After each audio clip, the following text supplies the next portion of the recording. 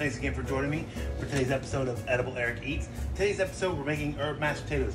The recipe you guys have in the class folder. Only one difference, I'm changing the method of cooking to sous vide. Um, sous vide is really nice really helpful when you're making purees in that cooks the vegetables but does not um, allow them to be touched by water. We don't want to do that because uh, water dilutes and it will take out some of the flavors. This way, we'll get a fresher, um, more vibrant potato flavor. I have two pounds of potatoes that were cut up from, that were left over from a demo video. I'm just gonna utilize them. Uh, your recipe says to uh, peel and quarter, uh, so go ahead and do that. And we're gonna add them to a vacuum seal bag. You wanna make sure you roll over your bag so you don't get any stuff here where you're gonna seal it. Gonna put these in here now.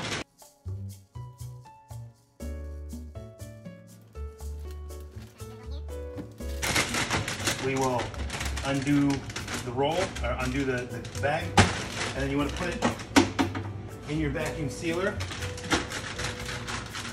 Kind of make sure it's one as, as you want to make sure it's a nice single even layer as much as possible. Make sure there's overhang on your heating element, and then just close. So we have our vacuum sealed potatoes. We're gonna drop these right into boiling water. When it comes to sous vide vegetables, you wanna take into consideration the end product with them. These are going to be mashed up, so it doesn't matter how violently we cook them. We're not worried about um, you know, softening them up too much. Another reason why I love using the sous vide method is you can do this ahead of time. Sous vide will stop the oxid oxidization uh, from occurring because you've removed all the oxygen. Now I'm gonna throw in the boiling water and just let that go until they're done. So we're checking our potatoes. You can see they're boiling.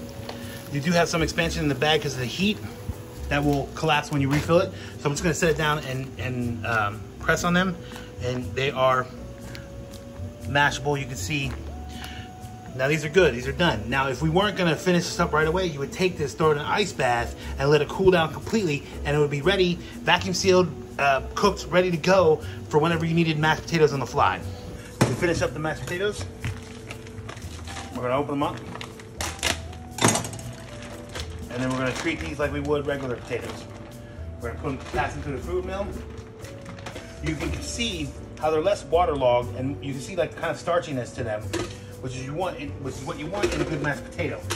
Now we're gonna pass all this through, scrape it down the sides so we can make sure we get all of it.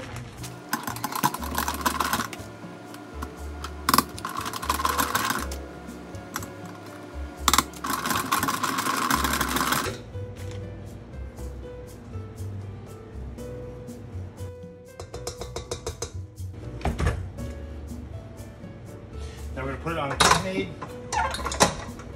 We're gonna put it on our mixer with the whisk attachment. We're gonna add our heavy cream and butter that we've scalded.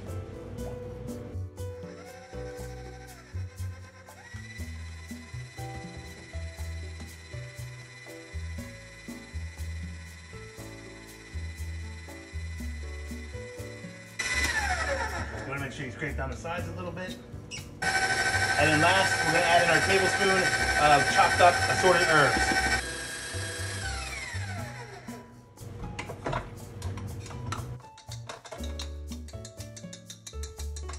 So let's check the seasoning. That's a good mashed potato. There you go, guys. The school's recipe for herb mashed potatoes. Just done with a little slight twist on how we cook it. Enjoy, guys. And uh, keep on eating. Looking to up your cooking skills? Click subscribe for more delicious content where I break down techniques, uh, dish out succulent tips to help you not just keep on eating, but encourage you to grow on.